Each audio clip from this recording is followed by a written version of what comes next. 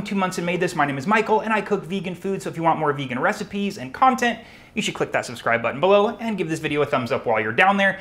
Today I'm like super excited for the recipes I'm sharing with you today. I have a recipe for an easy corn risotto that is gonna be made right here in an Instant Pot. Takes just about six minutes. And actually while I'm talking, let me get some things started. Gonna throw some onion in there just to make the most out of time. But the best part about this corn risotto, which is gonna be made with fresh corn from my friend's garden, shout out to 3040 Farm, Steve and John for growing this beautiful corn. Uh, but I'm gonna take this risotto and I'm going to turn it into arancini. So we're gonna make these delicious fried little balls of risotto goodness. And one of the things that's gonna help pull this recipe off is this delicious Noochy Licious nutritional yeast. Today's video is sponsored by Gloriously Vegan, who makes this nutritional yeast.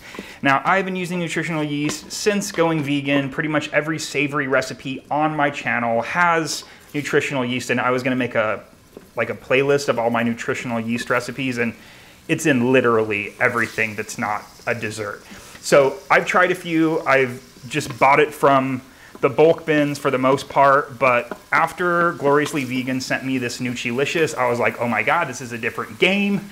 This is so incredible. Uh, you definitely need to try it. If you go to the website, gloriouslyvegan.com slash Monson, which I'll also, uh, I'll also post that link below, um, you can read a little bit more about this product. You can even order it. Depending on how much you buy, you can save 55% on your order, get a couple of digital ebooks as well. It's great stuff. Thanks again to Gloriously Vegan and Nutrition, uh, Noochy Licious for sponsoring this video because the nutritional yeast and my next ingredient are what truly make this dish, uh, and that's miso paste. So let's throw in this miso with the onion. So the combination of miso paste, which adds like a salty funkiness, uh, and nutritional yeast, which adds a cheesiness and a depth of umami, uh, together, they kind of take the place of a Parmesan cheese. We're making this vegan, no Parmesan cheese. So that combination of Noochy Licious and miso paste just completely does it. So I'm gonna let the onion and the miso cook here just a little bit. The miso is gonna toast. The onion is gonna cook down slightly. Uh, and we'll proceed with adding our next couple ingredients. Again, it cooks for six minutes, and then we'll have risotto. So we don't want the onion to brown at all. And just as it begins to soften, we want to add our next ingredient, which is arborio rice. And this is a special rice that is used to make risotto. And what is special about that particular rice is that it is really high in starch.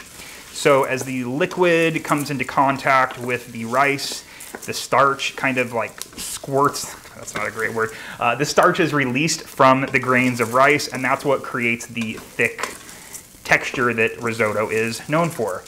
So I'm just gonna stir the rice around here with the onions and miso for just a sec. Uh, I did add a little bit of olive oil in the beginning. You could make this entirely oil-free if you wanted. All right, next ingredient is going to be some white wine. You wanna make sure to keep this completely vegan. You wanna go to a website like barnivore.com, barn like B-A-R-N-I-V-O-R-E, like carnivore or herbivore, um, but barn. And basically, it's a place that you can look up wines and different brands, beer, all types of alcohol to see if it is vegan. Um, this is a uh, Pinot Grigio, and I just checked as I was going through the grocery store, typed it in, found one that was vegan friendly. And I'm just gonna stir the wine in there until it is evaporated. I don't know if you can see it that well, but some of the starches are already starting to release. And I love that smell. Like once the wine is added, like it smells like risotto in here. All right, next thing is going to be some vegan chicken broth. And uh, if you notice I wasn't giving you any amounts, I apologize for that. Um, basically, the entire recipe, which is going to be printable, is on monsonmadethis.com. So um, you can get the full ingredient list and amounts on there. And I'll also have that linked below. So I added the rice, the onions, miso, bit of wine, this vegan chicken broth, which is just like a bouillon that you add to water. The next thing is the nutritional yeast. So this is my Noochy Licious. And again, I'm adding quite a bit here because I want that cheesy kind of Parmesan-y umami flavor. Stir this through. And I mentioned that this is a corn risotto. So again, my friends grew this beautiful corn. I've already removed it from the cobs, but I'm actually gonna put the cobs in here. And that's just, uh, just going to impart some of the corn flavor because I don't want the corn to cook at all. Um, I want to keep it fresh, still have a bit of a bite to it, so I'll add that at the very end. And the rest of the ingredients I have here will be added at the end as well. So that is it. That is our risotto. I'm going to put the lid on. And I'm going to switch it from, if I can figure this out. I think I got it. It's hard to work backwards here. Uh, cancel this. Switch it to pressure cook. And wow, this is really hard upside down and six minutes. That's it. As soon as the six minutes is up, I will quick release the pressure. We'll stir, stir it a bit, add these other ingredients, and we have risotto. So I've quick released this so I can open it up. First thing I wanna do is take out the corn cobs. That's because they have done their job. Now the next part's kind of important. We wanna make sure to stir this around and we wanna be a little bit vigorous with it just so we can release a little bit more of the starch that's in the rice because it hasn't really had much agitation at all. If I notice at this point, so it's on the thicker side, which I actually like for the purpose of making arancini. Um, if it was a little bit too thick for you, you thought that it wanted to be, you wanted it to be a little bit more runny in consistency, you could just add a bit more water and that would be great, uh, or broth, excuse me. Next things I wanna add are some lemon juice and that just gives a little bit of brightness. Some vegan butter, I'm actually using Miyoko's today. And the last thing is the corn that we have taken off the cob. And this is from two cobs. And I'm going to use just most of it. I want to be able to garnish with that. And now we stir. And we have our delicious vegan corn risotto. Smells amazing. Again, normally if I saw that it was this thick, I would probably, uh, if I were gonna be eating it as is, I would add a little bit more broth, but because I'm gonna be making my risotto balls with it, this is the perfect consistency. So I'm gonna dish a little bit up, give it a taste, and then I'll show you the next steps to making arancini. You can eat your risotto just like this. It is, mm, delicious and corny and buttery. I put a little fresh parsley on top for pretty. So this is ready to go as it is, but we are not done yet. Uh, I'm gonna take this, put it in the fridge, let it chill a little bit, become a little bit more solid, and then we will turn it into arancini or risotto balls. Here is a batch of the risotto that I made yesterday.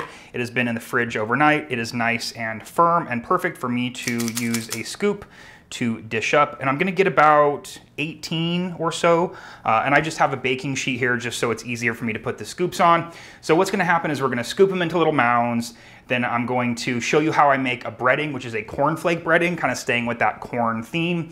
Uh, and then we will actually roll them into balls, put them through flour, a nice kind of a vegan egg mixture, which is chickpea flour and water, and then we will roll it into the cornflake mixture and fry them. So to get there, we have to make scoops.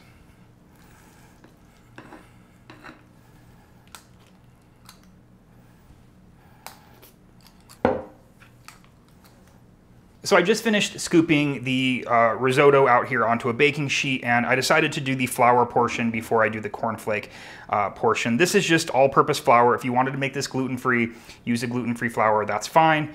Uh, and basically what you wanna do is take each of these, and it does help if they're fairly fresh out of the fridge.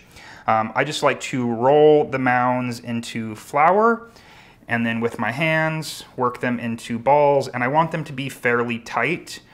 Um, I want them to be fairly compact and as perfectly round as I can get. They're gonna be a little bit delicate, that's fine, um, but you just wanna work them into balls and try to have them coated in flour as much as possible. And I'm just gonna put them back here on the baking sheet. They are kind of delicate, so, you know, be forceful as you're forming the balls, but delicate and understanding of the fact that they're just made out of rice. And they have feelings. And they have feelings, absolutely. Admittedly, rolling these into balls, the whole arancini process is actually a little bit of a, a labor of love. You only spent six minutes making the risotto in the Instant Pot, but here's where the true cooking comes into play. I, I enjoy it. I enjoy the zen of repetitive cooking processes like this. It's like scoop them out, roll them into balls and flour. Then we'll have a kind of a vegan egg wash. Like I said, it's a chickpea flour mixture. Then we'll dredge it through this cornmeal thing. And I mean, it's something that you're, because you're going to be making like 15, 16, 18, depending on how big your scoop is. Uh, you can make a huge batch of these and have them. You can freeze them. They freeze really well. You can keep them in the refrigerator to have on hand. So it's like you, you put in the work, you put in the time, and uh, you have them for you ready to go in the future. Um, the reason I actually developed this recipe is the, the friends that grew the corn invited Ben and I over to a party at their house. Um, it was a corn harvesting party, and it was to use the corn from their yard in various recipes. So I tested this out, made it a couple times in a week, fell in love. Feel like most of the people at the party enjoyed these. I also made a poblano sweet potato chowder with the corn. Poblano, sweet potato poblano corn chowder. Uh, that was I thought really great as well. My friend Steve was cool too because he, I guess people knew that I cooked vegan food, but he never used like the V word when telling people what they were eating. It was like, oh, here, Michael made these risotto balls, or Michael made the corn chowder. And I think people ate it and enjoyed it without sort of the like vegan stigma attached to it. Am I right in saying that, Ben? He's behind the camera. Yeah, I um, never heard the word vegan once. Right. Which is like, do you want people to know that the food that they're eating that's delicious is vegan, or do you want them to enjoy the food without judgment and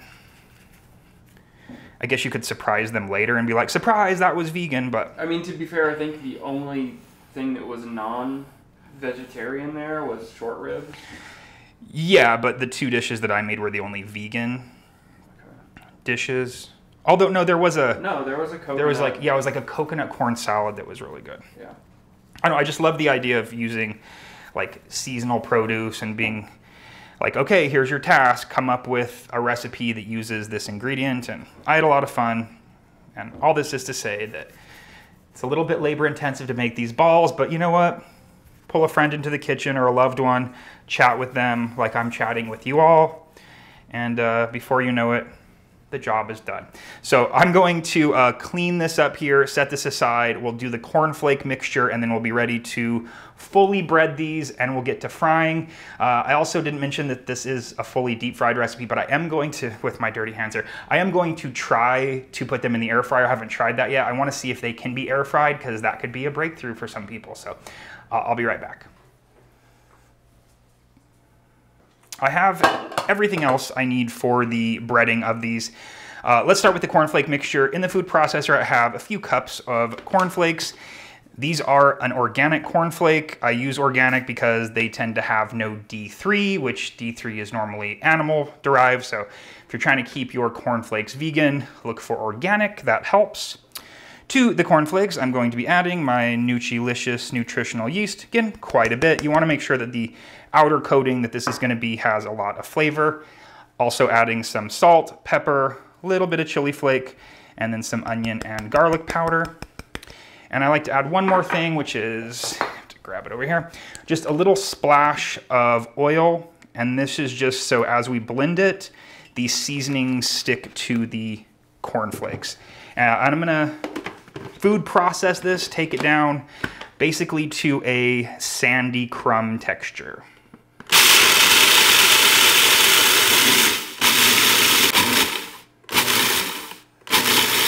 I want to check the texture here. I want it to have, I don't want it to have any bits of flake, but I do want it to have just like a little bit of crunch and texture. It looks perfect. So I'm going to transfer this to a bowl. Let's just stir a I guess it's a bowl plate here. Uh, and this is where I'm going to do my rolling of the balls. Okay. So the balls already have the flour on them. This is the outside coating, and I keep teasing this vegan egg wash. Now, I love chickpea flour. Probably the two ingredients I use most are nutritional yeast and chickpea flour. This is equal parts chickpea flour and water and this is going to be the egg wash.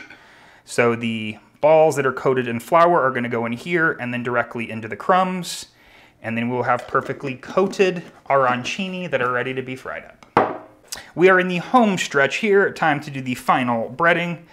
And I'm going to work in batches of maybe three or four, roll the floured balls into the chickpea flour mixture, and then into the crumbs.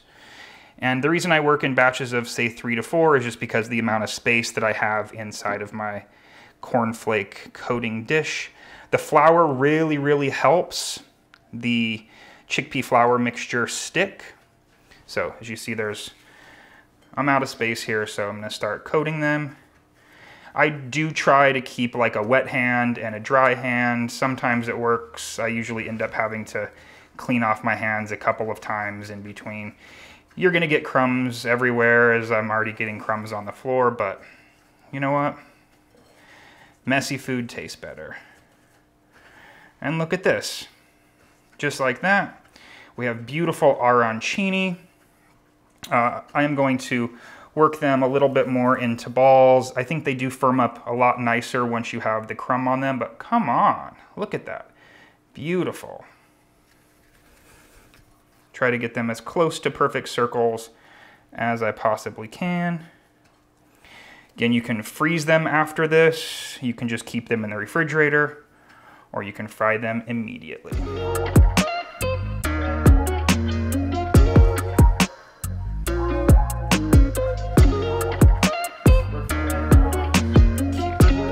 I hope it's safe.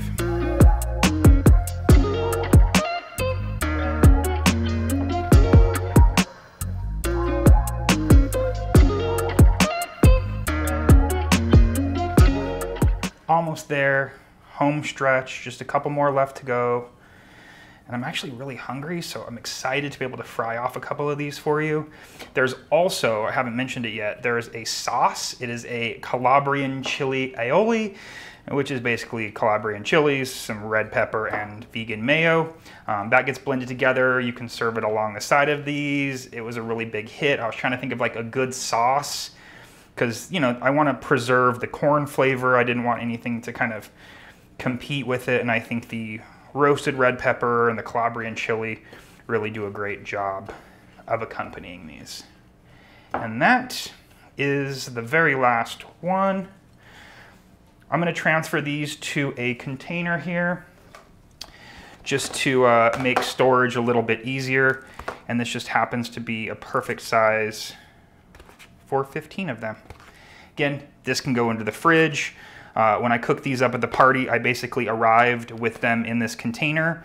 I had two of them, I think I had like 30 that I brought, uh, and then just fried them on site and that was better than because you know with something that's fried you definitely want to make sure to do that like right before people eat it or as close to when people eat it so they can arrive like this beautiful arancini let me clean this up here and then we will fry a couple off and like I said I'm going to put one or two in the air fryer as well to see if that works I hope it does because I kind of hate deep frying even though it's delicious my oil has come up to temperature. I'm using this bizarre wok thing that I actually got from uh, my grandparents and our arancini are ready to go. So I'm going to carefully place them on my spider here a couple at a time. Put them into the oil carefully. Beautiful sizzle. I think I'm gonna start with four. I don't wanna overcrowd the oil. Eh. Yeah, let's start with four. Just gonna move them around slightly, making sure that they're not stuck to the bottom. When I did this at my friend's house for the party, they had a big uh, Le Creuset stock pot. It's full of oil, could do a ton at a time. It was great. Here at home for myself and Ben, uh, this size does great. And this is gonna go just for a couple of minutes. Gonna try to keep them turning, trying to keep them nice and round. And uh, these are gonna go probably like maybe four or five minutes. With these, I don't know how many of you know this, the word arancini actually means orange in Italian. So you want to cook them until they do get a nice golden color. This isn't where we want just like a light tan. We want a really nice dark golden color on these. So we're gonna push them until they get there.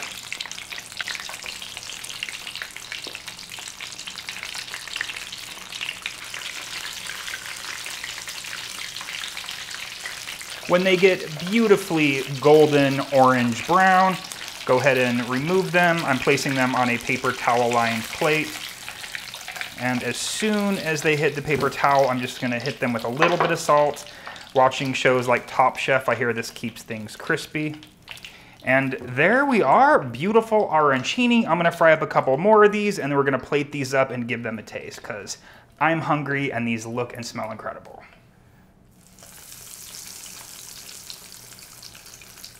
Here are my beautiful corn arancini and I'm plating them here, trying to get them into a nice little stack next to my Calabrian chili aioli. Again, the full recipe for that is gonna be on monsonmadethis.com as well as the full recipe for these arancini.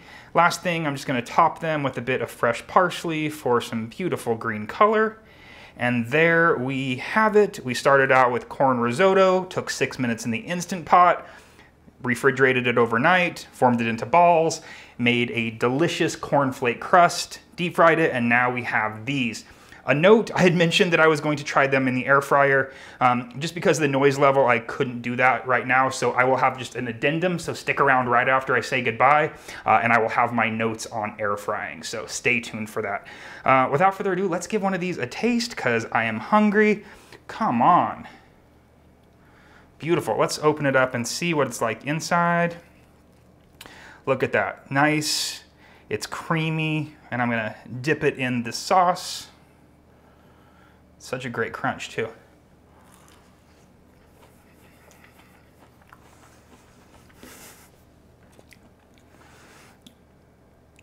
I feel like I like overacted that moment, but I needed you guys to know how truly incredible this is. And I'm not kidding. It is that combination of miso and nutritional yeast like the Noochy Licious that I used. It just does something incredible. Corn is what I added to mine. You could add mushrooms, whatever kind of flavor you want. These are next level. You have to give them a try. Bring them to your next party. Bring them to yourself at the table because you deserve it and you should treat yourself or just make the risotto. That's incredible on its own. Thank you all so much for watching. I really appreciate it. Again, must try. Check out Noochy Licious. I will have a link below. Get yourself some. It's truly the best nutritional yeast that I've ever had. So thanks again for watching, and I'll see you next time. Bye. God. They're like better than the first time. So sadly, I have to report that the air fried version didn't work. The issue I am guessing is that the outside doesn't get crispy enough to hold all of the insides once that becomes hot and starts to become nice and molten and gooey. So it just kind of flattens and the outside didn't really get that crispy. It just kind of dried out and the inside just kind of oozed. So for this particular recipe, I don't suggest using the air fryer. I think air frying would be a great way to reheat them after they've been fried. So I think this is a recipe you're gonna have to either just enjoy the risotto uh, on its own if you wanna make that oil free or you're concerned about oil. Um, but the uh, arancinis, they definitely need to be deep fried. Um, there it is.